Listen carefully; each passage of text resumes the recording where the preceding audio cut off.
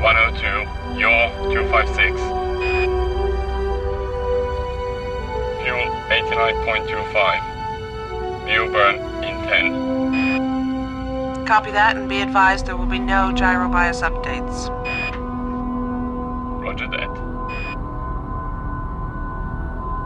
Welcome to the edge of the solar system. It's a balmy summer's day here on Pluto. 233 degrees below zero. And I can tell you, despite the insulation, I can already feel the cold working its way through my boots. That's our sun. From here, it's only a hundred times as bright as a full moon on Earth. Hard to believe it killed one of our crew. This is our moon. Eight times bigger in the sky than yours, and it's in a locked orbit. It's, it's like someone just nailed it there. Feels like time's just stopped here. Like walking around in a tomb.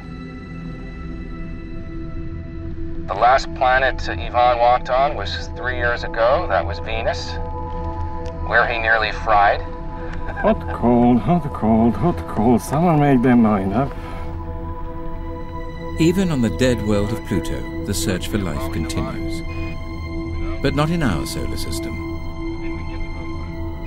The crew have completed their redesign of this telescope to search for distant Earth like planets. In order to detect the faint heat glow of a planet, the telescope has to be very cold. Pluto is the perfect vantage point. Uh, mirrors out. Other way. Yeah, you got it. I've got you. Can you see us yet? Mirrors exposed. The scope's powered up and the spectrometer is chilled. We're just waiting for Pluto to come around a little more.